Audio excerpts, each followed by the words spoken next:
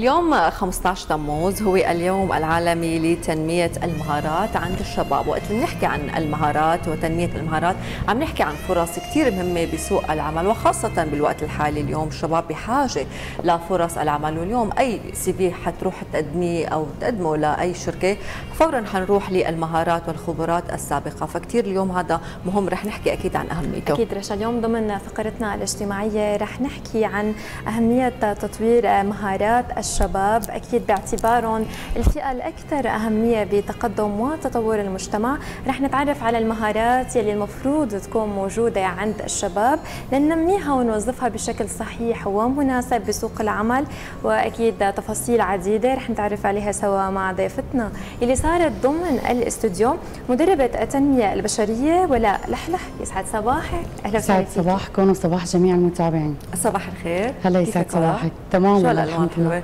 الله يسلمك يا رب. طاقة حلوة يعني اليوم اليوم أيضا المهارات بحاجة لطاقة وبحاجة لإيجابية وقت لما نحكي عن مهارات الشباب عم نحكي عن مستقبل ورهان على بكرة يعني بطاقات حلوة. خلينا بداية نعرف بهذا المفهوم. تمام. هلا بالنسبة لتعريف المهارة فهي قدرة الشخص وخبرة الشخص على أداء عمل معين أو مهمة معينة. هي القدرة بتجي نتيجة الاجتهاد المستمر نتيجة الممارسة نتيجة التعلم. لأقدر أنجز مهمة معينة أو عمل معين باسرع وقت وأقل جهد. نعم. بحيث إنه أنا أكون قادر على إتمام هذا العمل أو هي المهمة في أسرع وقت بأحسن صورة بأقل جهد ممكن. لما بنقول نحن اليوم مهارات الحياة فهي بتشمل كافة مجالات الحياة.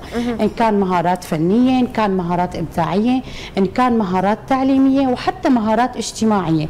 يعني مثل عندنا مهارات الكتابة عندنا المهارات الموسيقية عندنا المهارات التعليمية عندنا مهارات التواصل مع الآخرين أو العمل ضمن فريق عندنا مهارات القيادية والإدارية. فهي بكل اختصار القدرة على إنجاز وإتمام العمل في أسرع وقت بأفضل صورة وأقل الجهد أكيد. يعني ولا يمكن اليوم كل شخص عنده مهارة أو موهبة معينة. البعض ممكن يكتشف هي المهارة من الصغر وينميها ويوظفها بشكل صحيح بالمستقبل بينما بنشوف البعض الثاني ما يمكن بيتأخر لحتى يكتشف هي المهارة الموجودة عنده. خلينا نوضح اليوم مين الشخص المسؤول عن اكتشاف هي المهارة وشو بتفرق إذا نحن اكتشفناها بوقت مبكر أو على كبر؟ هلا بالنسبة لاكتشاف المهارة فهون حسب عمر الشخص نفسه وكمان حسب الظروف والعوامل المحيطة بهذا الشخص.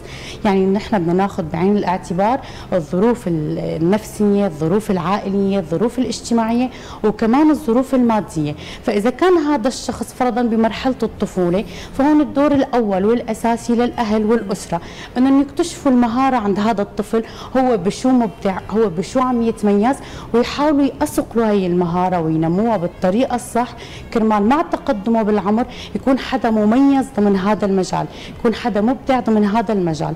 أما إذا بدنا نحكي بمرحلة الشباب والمراهقة فهون الشاب بيكون أكثر عقلانية وأكثر وعي. هو لشو بيميل؟ ميوله بأي اتجاه؟ شو الأمور يلي بيحبها؟ دراسة آه، حرفة مهنة؟ ممكن العزف على آلة موسيقية. هو وين ميوله الإبداعية؟ فهون بيحاول يركز على هي الميول أكثر وينميها بالطريقة الصح. ممكن عن طريق دروس خصوصية ممكن عن طريق المعاهد ممكن عن طريق التعلم الزايد اكتساب الخبرات. كمان ممكن عن طريق وسائل التواصل الاجتماعي. صحيح. يعني ننمي هي المهارات ونطور الذات حسب عمر هذا الشخص وكمان حسب الظروف المحيطة بهذا الشخص. دائما المتابعة بأي شيء بنحبه بتثقل هي المهارة وبتروح ممكن لموضوع الإبداع والتميز بمكان ما. حكيتي عن أساليب بالتطوير وأن العيلة الكورسات الخبرة وكثير اليوم مهم المحيط الداعم اليوم يدعمك لتقدري تنجحي ونفسه هو قادر يفشلك اليوم. وقت بنحكي عن مستوى المهارة في تقييم اليوم لإلها كيف اليوم بتنظري لهذا التقييم ولا؟ هلأ بالنسبة لتقييم أي مهارة فهون أهل الاختصاص يعني الناس المتابعة لهذا الشخص. ممكن يكون الأستاذ بالمدرسة ممكن يكون المعلم ممكن يكون المدرب ضمن المعهد. فبتجي تقييم هاي المهارة من أهل الاختصاص نفسهم. وكمان ممكن الشخص نفسه الشخص نفسه يراقب حاله ويحس حاله إنه أنا تطورت إنه أنا صرت بمستوى أفضل من المستوى السابق اللي كنت عليه. فهون بيجي مرحلة تقييم المهارة إما من الأشخاص المحيطين أهل الاختصاص إما من الشخص نفسه.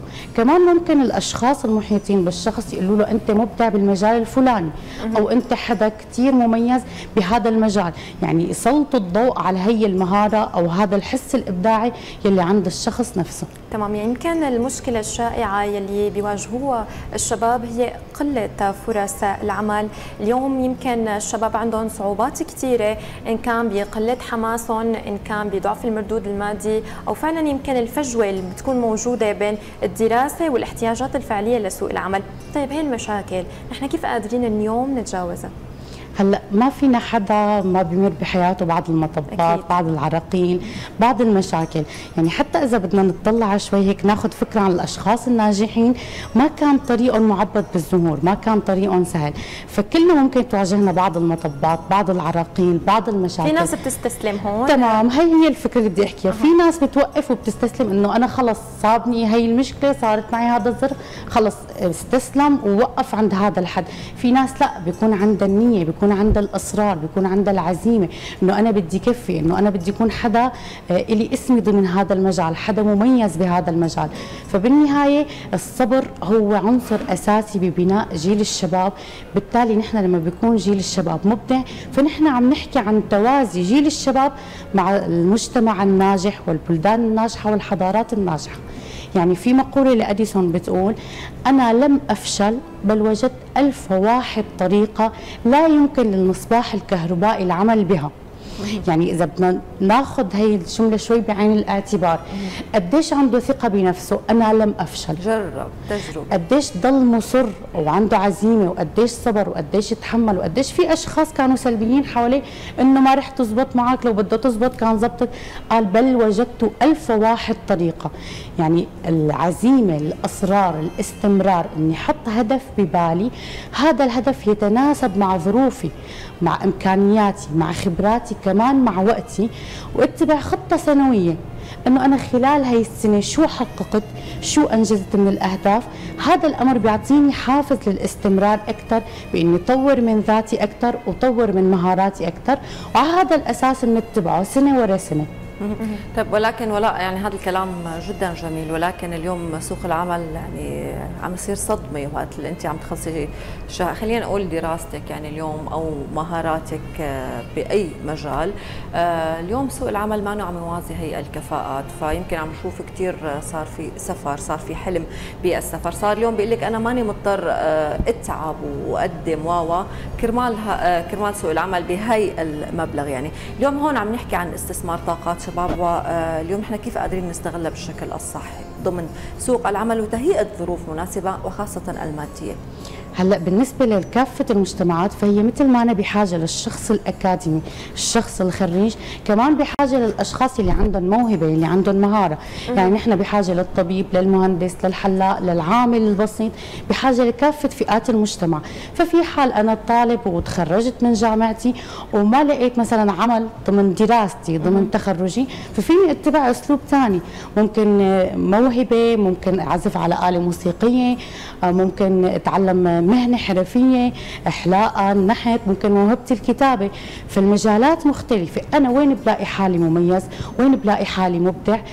يعني بدنا ناخذ بعين الاعتبار كلنا هي الظروف الصعبة على الكل مو بس علي فنحاول نحن قد ما فينا نتجاوز هي المحنة نتجاوز هي الصعوبات.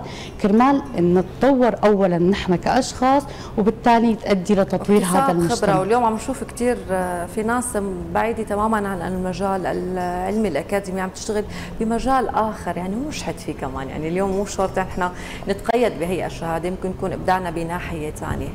أكيد. يمكن ولا خلينا كمان نكون واقعيين اليوم. عندنا آه، كثير من المعاهد من الدورات التدريبية اللي عم تساعد الشباب لحتى يمكن يكتشفوا أي مهارة موجودة عندهم ويحاولوا ينموها آه، بعد فترة.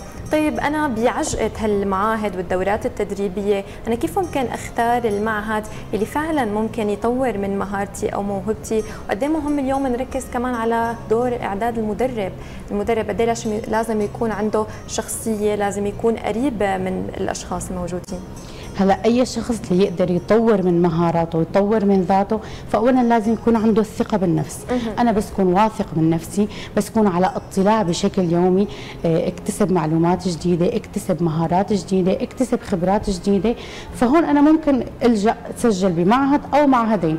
وين أنا ارتحت نفسيا؟ وين أنا لقيت التطور الاكثر وين أنا لقيت المعلومات الاكثر فعلى هذا الأساس بختار هذا المعهد. أها. يعني في بعض الطلاب بتقول لك أنا الأستاذ الفلاني أو المدرب الفلاني بيلعب وين دور بكون. أنا بلحقه صحيح. فهون بيجي دور الشخص نفسه وكمان الشخص اللي عم يرسل هاي المعلومات أكيد. على هذا الأساس نحن بنقيم إنه أنا بدي اسجل هون أو هون دائما اكت- اكتساب الخبرات كثير مهمة والمتابعة يعني حتى لو ما قدرنا اليوم نوفر فرصة العمل بالمجال اللي نحن بنحبه ولكن مثل ما قلتي المتابعة والإصرار بيوصلنا بيوم من الأيام يعني شكرا ولاء لكل المعلومات اللي ذكرتيها ونتمنى دائما يكون في فرص لشبابنا. اليوم عندنا يعني آه، إبداعات وعندنا طاقات كثير حلوة بحاجة لتسليط الضوء وبحاجة لتوفير الفرص وللدعم مو بس من المحيط من كل الجهات المعنية. شكرا ولاء.